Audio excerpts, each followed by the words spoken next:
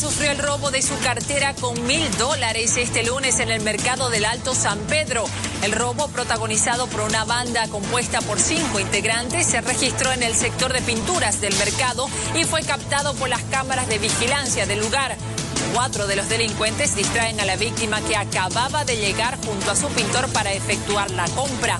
Mientras esto sucedía, el quinto integrante del grupo se las arregla para sustraer la cartera con mil dólares en su interior sin despertar las sospechas de la propietaria. Después, con el botín en mano, se aleja del escenario del robo a pie en dirección a una de las salidas del mercado.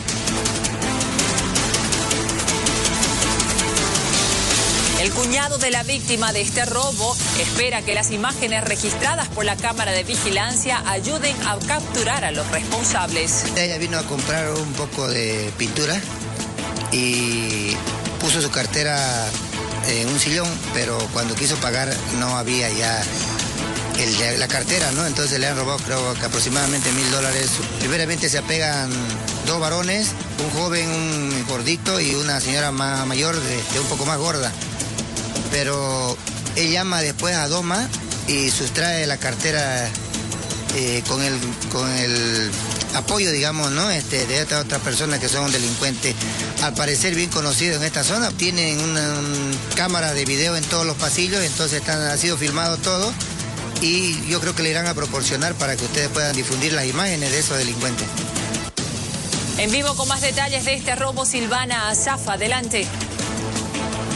Gabriela, al promediar las 9 y 23 de la mañana, a esta tienda ingresaron cinco personas, entre ellas dos mujeres, quienes sustrajeron una billetera con 1.500 bolivianos. Afortunadamente, todo quedó registrado en la cámara de seguridad de este centro de abastecimiento. Según dicen los comerciantes y transeúntes, ellos han reconocido a estas personas. Indican de que éstas se dedican a esto y el modus operandi es el mismo. Actúan tres jóvenes, dos mujeres, de quienes se dice las mujeres se dedican a cambiar billetes, y dar falsos a los comerciantes. Estamos en este momento con el vicepresidente de Administración quien nos va a ampliar esta información. Coméntenos, gracias a las cámaras de seguridad se ha logrado observar quiénes han sustraído esta billetera. Sí, efectivamente, gracias a las cámaras, que era una necesidad anteriormente porque teníamos mucho robo y no podíamos saber quiénes eran y, ahora ya con las cámaras que tenemos, con las 45 cámaras que tenemos, ya ahora podemos descubrir quiénes son los que nos roban. Hay personas que ya son reconocibles, una y otra vez ya han venido a, a robar. Ya lo detectamos por las cámaras, gracias a las cámaras. Y también estamos implementando otras 50 cámaras alrededor del mercado, o sea, en la calle, donde ellos van y hacen su su repartija ya de, la, de, la, de lo que ellos este, roban, ¿no? Entonces, eso queremos también identificar todas esas cosas para poder este, tener más seguridad en este mercado, pues, ¿no? ¿Usted ha logrado apreciar el video y ha reconocido a quiénes ha reconocido?